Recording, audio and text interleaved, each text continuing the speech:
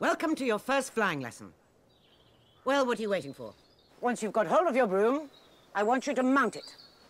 And grip it tight. On my whistle. Three, two,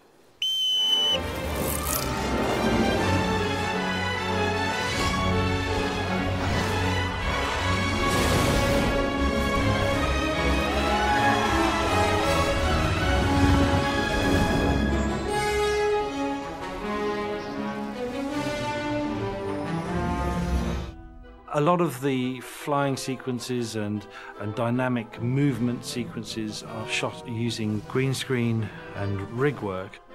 If we're working a flying sequence, we'll have the actors on a practical broom rig, and that will allow us to do a certain amount of movement.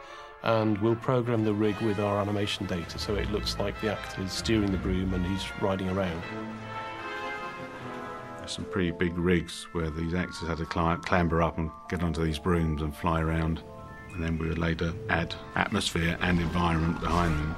We shot the characters individually from the right, correct camera angles with correct matching lighting to match the background plates that we shot on location, and then the two went together. The end result is it really looks like they're flying through that environment.